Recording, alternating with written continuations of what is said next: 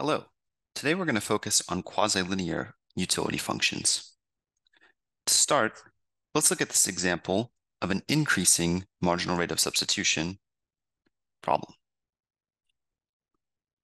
First, we have our utility function, x1 cubed plus x2. We see right away that the one of our terms is nonlinear, while the other is linear.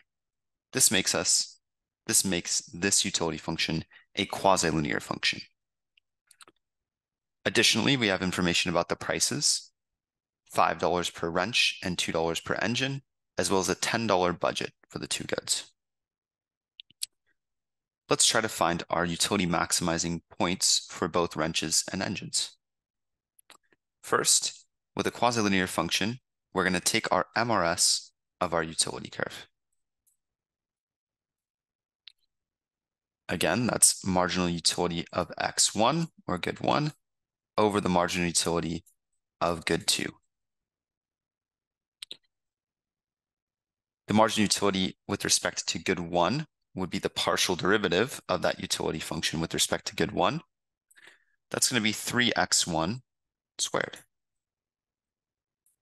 I'm going to place this over the partial derivative with respect to x2, which in this case is just 1. So we're left with 3x1 squared as our marginal rate of substitution. Before we continue, we have to do something called the MRS test. The MRS test has us see what happens to our marginal rate of substitution as good one, the amount of good one we purchase increases, and the amount of good 2 we purchase decreases. Depending on the answer to these two questions, we will see an increasing marginal rate of substitution, a decreasing marginal rate of substitution, or a constant rate of substitution. Let's analyze this MRS. In this case, our MRS is 3x1. As x1 increases, our marginal rate of substitution increases. As x2 decreases, nothing happens to our MRS.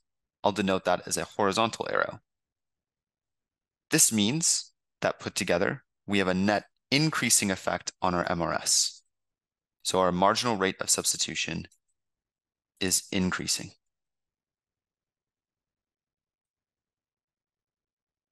In the event that we find an increasing MRS, we should solve this problem similar to a perfect substitutes type utility function problem.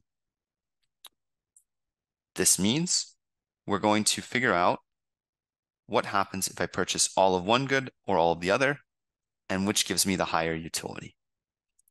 So first, let's build out our budget constraint. Our budget constraint again is P1x1 plus P2x2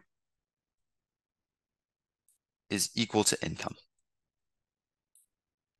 Plugging in the points that we have available to us, that means 5 times x1 plus 2 times x2 equals 10. If I'm to zero out the amount of good 2 we purchase and say we purchase all of good 1 instead, we're left with 5x1 equals 10. So x1 equals 2, x2 equals 0. If I'm to zero out how much of good 1 we purchase and purchase all of good 2 instead, I'm left with 2x2 equals 10, or x2 equals 5, and x1 equals 0. Let's compare our utilities. We'll call this point A and this point B. The utility under point A can be found by plugging in the point 2, 0 into our utility function above. If we have two units of good 1, we're going to put that in for the x1 variable here, 2 cubed, and then we're going to add 0 to that. So our utility under point A is 8.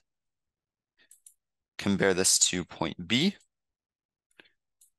our utility will be plugging in x1 as 0 and x2 as 5. So our utility under point B is 5. Seeing as point A yields the greater utility, we should go with that for our optimal bundle. This means our answer would be two units of good one and zero of good two.